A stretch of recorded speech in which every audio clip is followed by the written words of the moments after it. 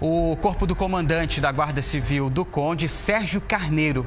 Ele foi morto a tiros na orla do Cabo Branco. Esse caso a gente mostrou ontem aqui no Tambaú da Gente Manhã. E a polícia suspeita de uma tentativa de latrocínio. A viatura do Corpo de Bombeiros conduziu em carro aberto o corpo do comandante da Guarda Municipal de Conde, Sérgio Carneiro da Silva.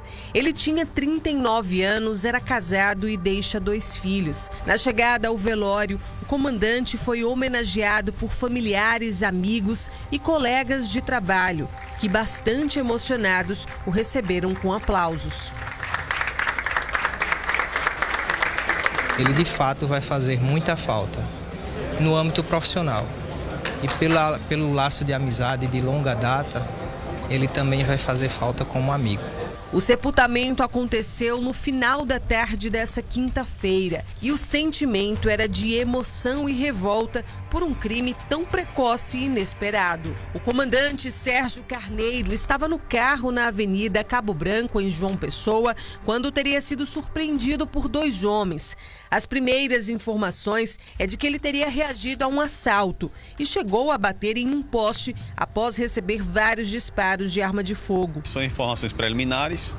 É, a perícia foi chamada ao local e, e somente através dessa, dessa perícia a gente vai saber exatamente a forma como se deu a dinâmica desse crime. É, e a questão de motivações, a gente está realmente é, levantando essa hipótese de, de, de ter se tratado de um latrocínio. E só essa semana, dois militares aqui na região metropolitana foram assassinados, né? Este foi que a gente registrou ontem ali na região da Orla de Cabo Branco.